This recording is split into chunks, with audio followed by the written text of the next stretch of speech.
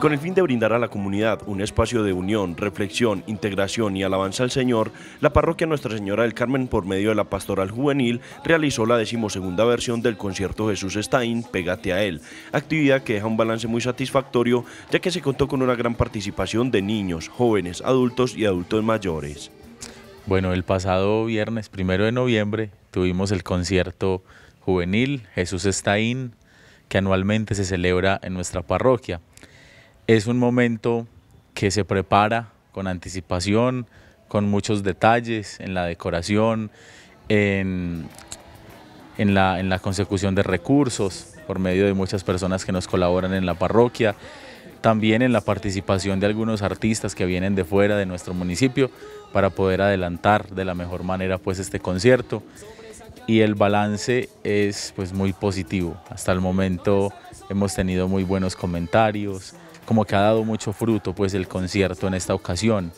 Eh, tuvimos oportunidad de, contar con la presencia de Sebastián Toro, es un joven de, Río Negro que tiene su ministerio musical y que vino a animarnos muchísimo pues como en ese, en ese momento de alabanza y de adoración eh, que, que tuvimos en el teatro parroquial.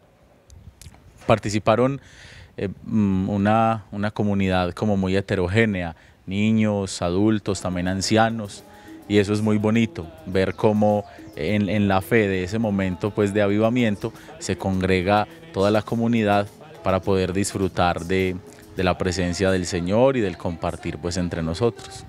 Bueno, el concierto juvenil Jesús está in, eh, lleva ahora 12 ocasiones de celebración. Esta es la versión número 12, la que ha pasado. Siempre iniciamos teniendo en los días previos pues la publicidad y la motivación para las personas. Luego a las 7 y 30 en esta ocasión, por ejemplo, de la noche dimos apertura al concierto con un avivamiento, con música como más festiva, para luego pasar a un momento de, de, mayor recogimiento con la exposición del Santísimo y con la oración ya pues como más profunda por las familias, por los jóvenes. Después, la bendición con el Santísimo y luego se termina ya el concierto nuevamente con, música de avivamiento. Entonces ese es como, como el itinerario del concierto, la dinámica que manejamos siempre. A través de este tipo de actividades se busca acercar a la iglesia a la población en general, pero en especial a los niños y jóvenes, demostrando una forma sana, divertida y lúdica de alabar al Señor, promover la oración en los hogares y demostrar que Jesús está ahí.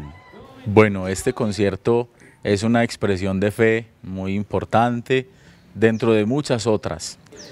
Eh, ayuda verdaderamente a todas las, poblaciones de nuestro municipio, a los niños, a los jóvenes, a los adultos, a vivir su fe de una manera pues muy directa.